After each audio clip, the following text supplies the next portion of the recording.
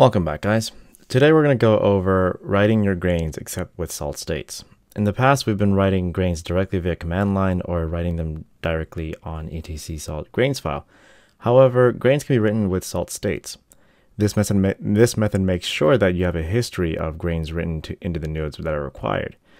Later in this course, we're going to talk about salt state.highstate, which allows you to do, which allows you to run your states, all of your states, onto the necessary nodes whenever you need them. This combined with grains written by states makes sure that you do not miss any grains that are supposed to be on the minions by directly reading from the state file rather than running them on a command line by line. To write your grains, go ahead and create a go ahead and create a state file like you would any other state file. We're going to call ours default grains and write in the state, write into the grains with grains.present. In default grains, let's go ahead and create a file called init.sls. Now, compared to users.sls, where we've been using thus far, init.sls is actually special. We've been specifying uh, when when calling the states, we've been specifying base users.users.sls, which we specify the file name actually users. In init.sls, we don't actually have to do that. In init.sls, we just specify default grains, and then that's it. init.sls is automatically assumed and it will be automatically be run.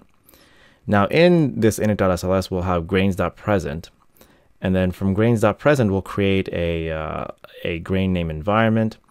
And in the grain.environment, we'll go, we we can go ahead and pass in multiple values if need be. So from here on, we'll just go ahead and see if we can run an example of several particular values. And we can even create nested ones as well. So the first one we'll say is, let's say YouTube environment, and then that'll have another value of SaltStack YouTube or SaltStack tutorial. And then here on out, we can actually have others of video environment, sorry, video grain, and then intro, command, state, grains, and so on and so on.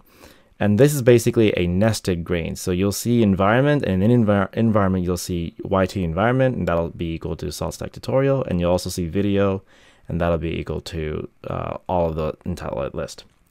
So let's go ahead and commit this up and log into our master. We'll go into the SRV salt video uh, directory, do a git pull, and then from the git pull, we're going to go ahead and run state.apply default grains. Now we don't actually have to specify dot .init here. It's automatically assumed.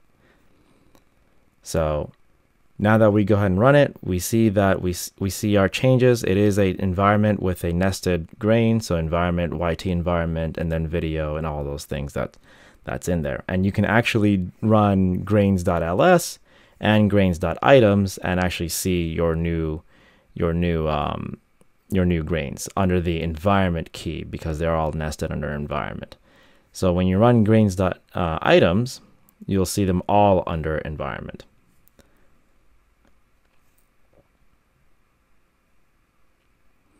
And there we go. So if we look at environment, there is YT environment, there is video, and we can call them as necessary. Uh, thank you guys for this, uh, watching this video. I'll see you guys next time.